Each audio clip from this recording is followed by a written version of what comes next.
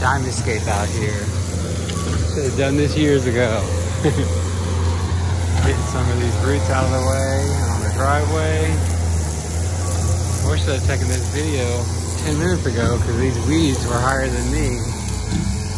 And, uh, but the goal is to clear this up today so I can start building a, uh, a shed back here.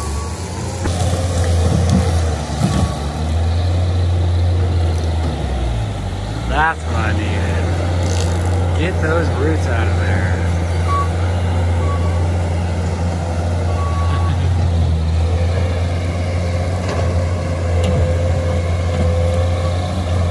nice. This is my property line right about here. And I don't know who did this, uh, but I guess that guy did. Uh, removed a bunch of stuff right here. And uh, I guess he was trying to make the point that this road was getting too narrow, which he was right, actually. But I want to get rid of this stuff and see how all the shrub is on the road. That was all like that right here. So I'm trying to pull this out. And uh, the guys over here from Diamondscape, Valet and his crew, and they are clearing up all of this too in like a half hour. That's awesome. They've been here less than an hour. And this would have taken me three months. uh, this is awesome.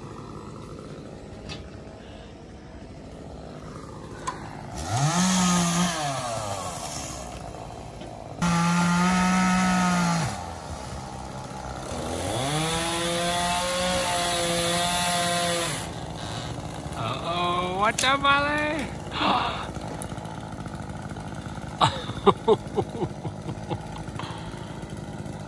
wow. A lot better I would a lot better than what I would have done, that's for sure. I would have screamed like a girl. so I had Caroline's Diamondscape crew come out today on my property in Lakeway and um, Valet and three other guys. Uh, and before they um, before they got here this morning, these this driveway right here was like the weeds were higher than me. So I was feeling a little daunted about doing all that work by myself. but within a couple hours, this is what they did. Got rid of a, a lot of roots and created um, a lot of room for some parking and uh, cleared up some oak trees over here.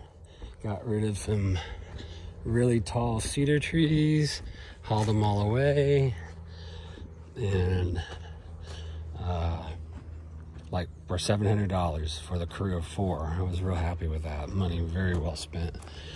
And I had them clear out this area right here. I want to put uh, um, a shed right there. This is the property line right here. And look at all the, how well the mountain laurels are doing.